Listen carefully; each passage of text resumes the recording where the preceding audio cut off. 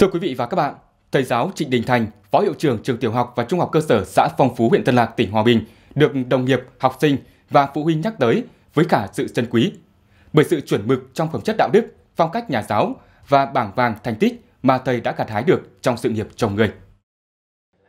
Thầy Trịnh Đình Thành sinh năm 1977 tại tỉnh Hà Tây cũ, nay là thành phố Hà Nội.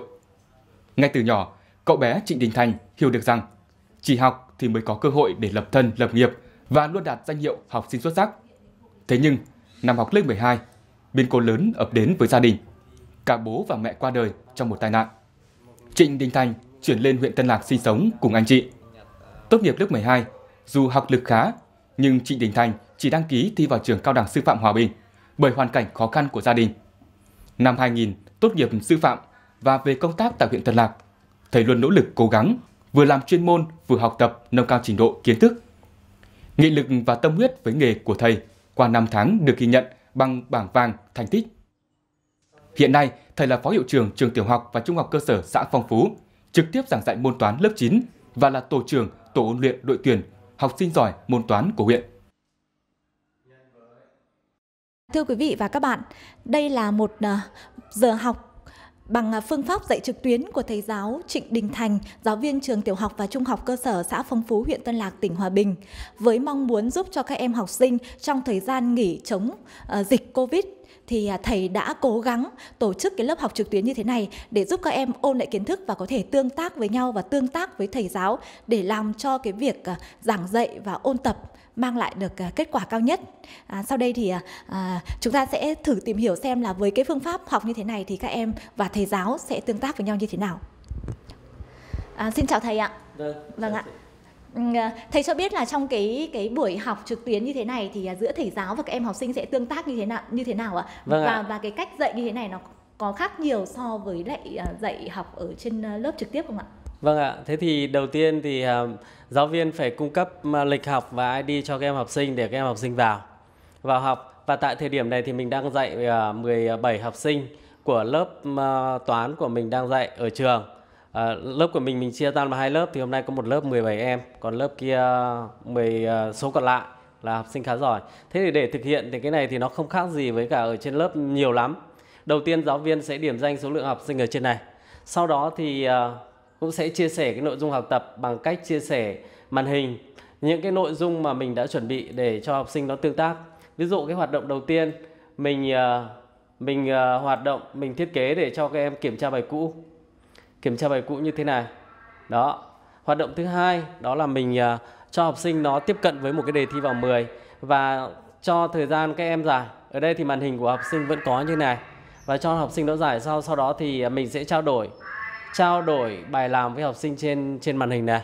Gọi các em uh, trả lời và giải viết bình thường như ở trên bảng.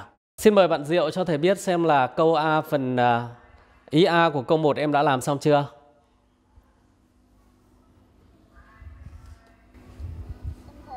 À xong rồi. Kết quả của em như thế nào nào? Kết quả câu này. À bằng trừ 3 Em làm thế nào? À, đầu tiên A cộng B cộng à, trừ đi AB bằng cái gì? Em nói cách làm thế. À 2 cộng căn 3 Hiện nay lớp học trực tuyến của thầy đã có 35 học sinh tham gia. Để giúp các em ôn luyện mang lại hiệu quả tốt nhất, thầy đã chia thành hai nhóm theo lực học và bố trí thành các buổi học khác nhau. Đồng thời tìm hiểu các phần mềm trên máy tính và đầu tư thêm một số thiết bị phụ trợ để sự học trực tuyến mang lại hiệu quả cao nhất. Theo các em học sinh, giờ học trực tuyến của thầy Thành hiệu quả mang lại đạt 80 đến 90% so với dạy trên lớp. Dạ hiệu quả là đầu tiên là cháu nâng cao được ý thức tự học ạ, tự làm bài tập, tự nhắc nhở bản thân là đến giờ học là phải học ạ. Thầy vẫn kiểm tra bài nên là mình phải tự học thật tốt ạ. Học trực tuyến này thì không ai nói chuyện thì mình cũng thể là tập trung vào học riêng của mình chứ không quan tâm đến các bạn ngồi cạnh ạ.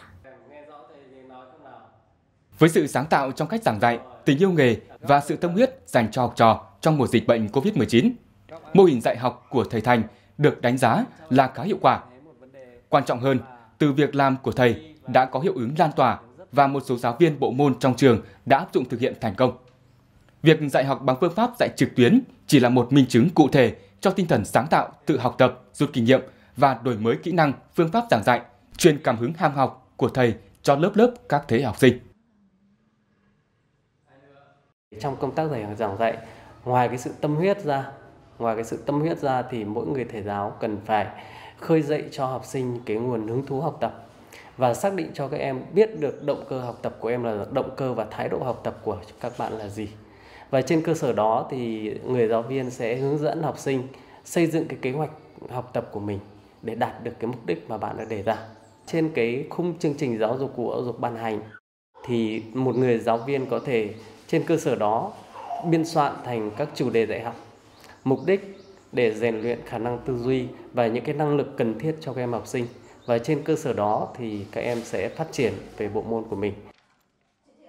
Với nền tảng kiến thức vững vàng và phương pháp giảng dạy khoa học, từ năm 2007, thầy được ngành giáo dục đào tạo huyện tin tưởng giao nhiệm vụ làm tổ trưởng tổ huấn luyện môn toán, đồng thời trực tiếp phụ đạo và bồi dưỡng đội tuyển học sinh giỏi toán của huyện tham gia các kỳ thi do tỉnh tổ chức.